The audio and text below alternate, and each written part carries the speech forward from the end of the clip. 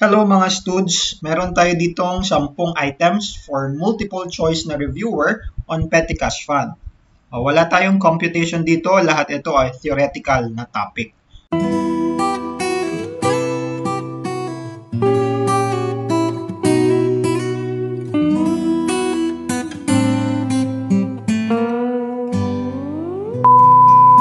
Umpisahan natin sa question number 1. The question is, Petty cash fund is letter A, separately classified as current asset. Letter B, money kept on hand for making minor disbursements of coin and currency rather than by writing checks. Letter C, set aside for the payment of payroll. Or letter D, restricted cash. So, alin dito ang tamang answer na magre-represent ng petty cash fund? Uh, yung letter A, separately classified as current asset. Isinasama po natin ang petty cash fund under the line item of cash and cash equivalent. O letter B, money kept on hand for making minor disbursements. O yan po ang purpose ng petty cash fund. So the answer is letter B.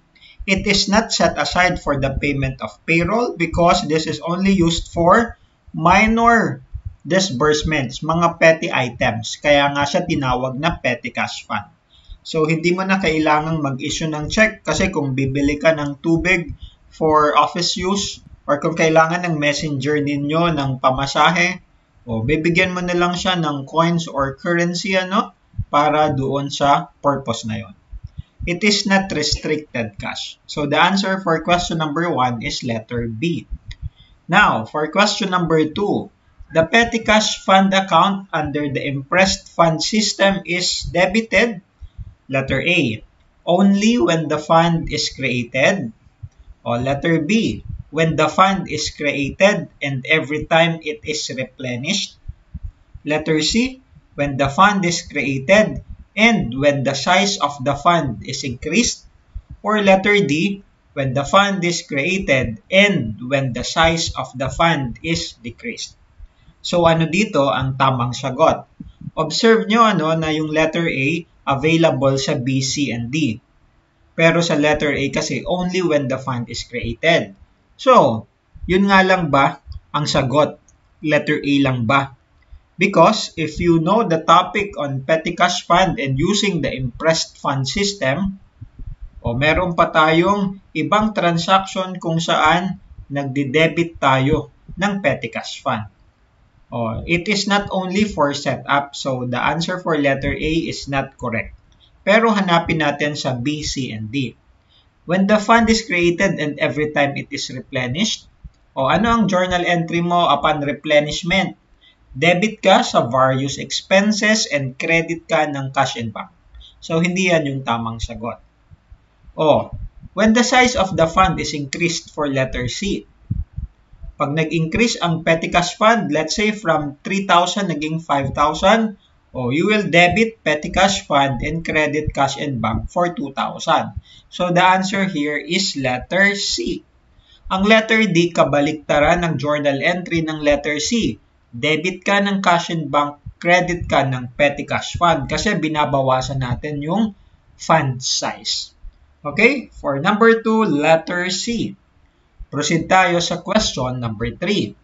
The internal control feature that is specific to petty cash is what? Separation of duties for letter A, assignment of responsibilities for letter B, proper authorization for letter C, or impressed system for letter D. O ano daw yung internal control feature na specific to petty cash? The answer here is letter D, the impressed system. O, so yung impressed fund system. O, yung separation of duties, assignment of responsibilities, and proper authorization, makikita rin nyo yan sa ibang mga accounts or ibang mga processes. Okay? O, letter D ang sagot for question number 3. Now, proceed tayo sa question number 4. What is the major purpose of an impressed petty cash fund? O ano nga ba ito? Letter A, to effectively plan cash inflows and outflows. Letter B, to ease the payment of cash to vendors. Letter C, to determine the honesty of the petty cashier. Or letter D, to effectively control cash disbursements. O ang sagot natin dyan ay letter D, to effectively control cash disbursements. Yan naman kasi ang pinaka-objective natin for using the impressed petty cash fund. Remember that that is one of your internal control feature, ano? Not for letter A, not for letter B, or for letter C. The best answer is letter D. Now, proceed tayo for question number 5. What happens when a petty cash is in use? Letter A. Expenses paid with the petty cash are recorded when the fund is replenished. Letter B. Most small amounts are paid from cash receipts before they are deposited. Letter C. Petty cash is debited when the fund is replenished. Or letter D. Petty cash is credited when the fund is replenished. So ano ang nangyayari raw kapag ang petty cash ay ginagamit? O etong letter C and letter D, mali na ito ano? Kasi upon replenishment, walang debit or credit sa petty cash fund. So, ang pagpipilian mo na lang ay letter A or letter B. O, for letter A, when we replenish your fund, we debit expenses and we credit cash in bank. So, your answer here is letter A. O, yung letter B mali yan kasi ang sinasabi ng letter B, pag may mga small value items na kailangang bayaran, pwede mong kunin sa cash receipts. O ang sinasabi ng impressed system, ang mga deposits kailangang intact at deposited. So, hindi mo pwedeng kunin dyan ang mga small value items. So, that is not the correct answer. So, for question number 5, the answer is letter A. Proceed tayo sa question number 6 when a petty cash fund is used, which of the following is true? Alin dito ang tama? Pag ginamit ang petty cash fund. Letter A. The balance of the petty cash fund should be reported in the statement of financial position as a long-term investment. Letter B. The petty cashier's summary of petty cash payments serves as a journal entry that is posted to the appropriate general ledger account. Letter C. The reimbursement of the petty cash fund should be credited to the cash account. Or letter D. Entries that include a credit to the cash account should be recorded at the time the payments from the petty cash fund are made. So, alin dito ang tamang sagot? You have to analyze it carefully. For letter A, o hindi yan ang tamang sagot kasi itatag daw ito as a long-term investment. O, masyadong malayo ano? Petty cash fund is a current asset under your cash and cash equivalent. So, hindi siya tama. O, petty cashier summary of petty cash payment serves as a journal entry that is posted to the appropriate general ledger account o ang process natin under an impressed fund system, magre-record lang tayo kapag replenishment na. So, iniipon muna natin ito, ano, saka natin ito i-record as debit to your various expense accounts and credit to cash in bank. Although, etong mga petty cash payments na ito, ginagamit natin ito as reference sa anong account natin ito ipapasok. Pero that is not really the answer. Ang tamang sagot dito ay letter C. The reimbursement of the petty cash fund should be credited to the cash account. O ito yung sinabi ko dito sa letter B na kapag replenishment or reimbursements, kinikredit natin ito sa cash account kasi dinidebit natin ang various expenses. O bakit mali yung letter D?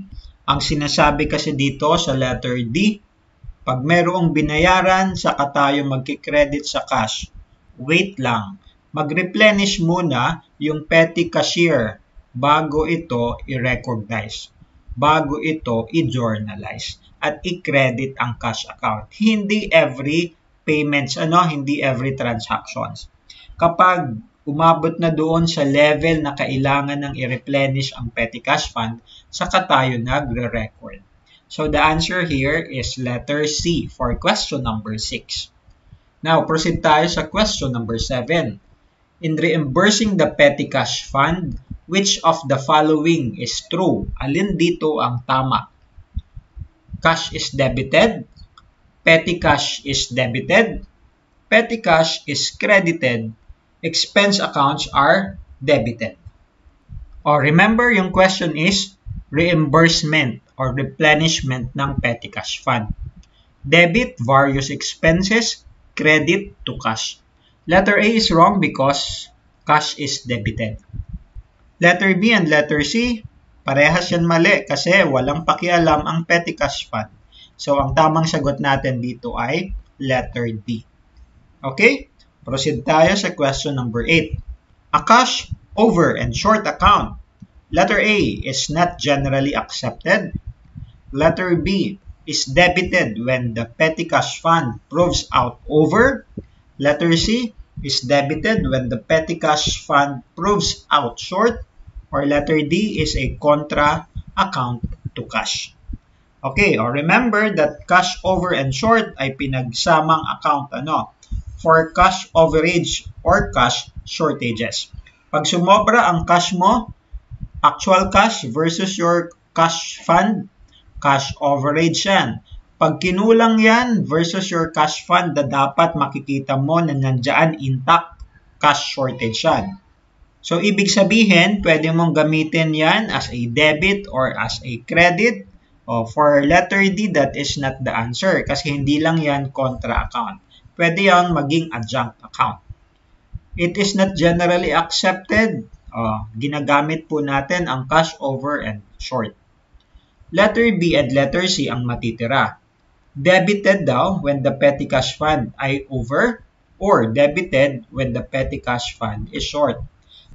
Isipin nyo na lang na kapag dinidebit natin itong account na ito, meron tayong expenses. At kapag kinikredit natin ito, meron tayong income. So pag expenses, 'di ba, ang pwede mong maisip diyan is maglalabas ka ng economic resources, eventually pera. Pag income naman, merong pumasok na economic resources and eventually may papasok na pera. O kapag dinebit natin itong cash over and short, it's as if tinapos ka ng pera, may kulang na pera versus your cash fund. O letter C ang tamang sagot dito. Okay, so the answer is letter C for question number 8. Now, proceed tayo sa question number 9.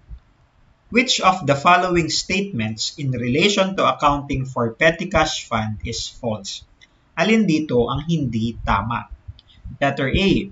Each disbursement from petty cash fund should be supported by a petty cash voucher. Letter B. The creation of a petty cash fund requires a journal entry to reflect the transfer of fund out of the general cash account. Letter C.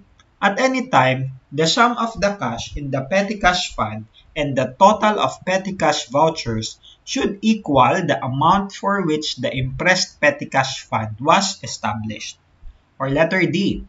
With the establishment of an impressed fund or impressed petty cash fund, the one person is given the authority and responsibility for issuing checks to cover minor disbursements. Ang tanong dito, alin dito ang false? Letter A ba? Ang disbursement from petty cash fund should be supported by a petty cash voucher? Uh, that is correct. Kailangan mo ng voucher, no? Magkakaiba yan yung template sa kada company. Depende kung paano nila sinet up yung voucher na yan. Pero, pag maglalabas ka ng pera coming from the petty cash fund, dapat merong reference. May supporting, ano? So, petty cash voucher yan. Letter B, yung creation daw ng petty cash fund ay nagre-require ng journal entry to reflect the transfer of fund palabas sa iyong general cash account. And that is also correct because we debit the petty cash fund and we credit the cash in bank. It is a cash-to-cash -cash account movement. For letter C, at any time daw, dapat ang sum ng cash in the petty cash fund mo, kung magkano yung natitira na actual cash, mapa coins man yan or paper currency, ipa-plus daw natin sa total petty cash vouchers, ito yung mga na-disburse mo na. Dapat equal yan palagi doon sa total na naka-establish na petty cash fund. O eto ay tama. Ano? The answer for number 9 is letter D. What makes it wrong? Because ang sinasabi dito, for issuing checks to cover minor disbursements. O yes, merong isang person na inassign para maghawak ng petty cash fund and we call it the petty cash custodian or the petty cashier. Pero yung issuance ng check ay para mai-transfer sa kanyang account yung pera na yon at maipa-encash eventually para meron tayong petty cash fund na on hand. Pero yung payment ng minor disbursements is not through checks but coming from the petty cash fund. So that makes the answer for letter B false or wrong. Okay? Question number 10 tayo. Proceed tayo sa question. Alin daw dito ang tama naman in relation to your cash short or over na account? Letter A. It would be impossible to have cash shortage or overage if employees were paid in cash rather than by check. Letter B. The entry to account for daily cash sales for which a small amount of cash shortage existed would include a debit to cash short or over account. O, sa letter C naman, if the cash short or over account has a debit balance at the end of the period, it must be debited to an expense account. Or letter D, a credit balance in a cash short or over account should be considered a liability because the short-change customer will demand return of this amount. Ano dito ang tamang sagot? O, dito ano, analyze ninyo mabuti kasi mahaba na naman yung question. Minsan, ang hirap i-analyze kapag ang haba-haba ng question. Parang nakakatamad basahin. O, ang sagot dito, ibibigay ko muna, it should be letter B. O, kasi pag meron kang cash shortage, kailangan i-debit mo yung difference dyan para balanse pa rin ang iyong petty cash fund. Pag chinek mo ang remaining balance plus your petty cash vouchers o plus your debit sa cash shortage, o equal pa rin yan doon sa naka-establish na petty cash fund. So the answer for question number 10 is letter B. O letter A is not really correct kahit na paid in cash yan, posible pa rin na magkaroon ng cash shortage or overage. O, for letter C, hindi natin dinidebit sa expense account etong ating cash short or over account.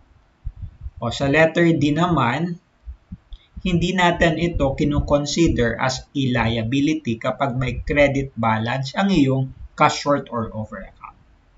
Okay, so the answer, the most proper. The tamang sagot for question number 10 is letter B. Alright, so hanggang dyan muna tayo sa ating reviewer for Petty Cash Fund. I hope you learned something from it and you can use it sa iyong mga examinations. So, good luck and I'll see you around. Bye-bye!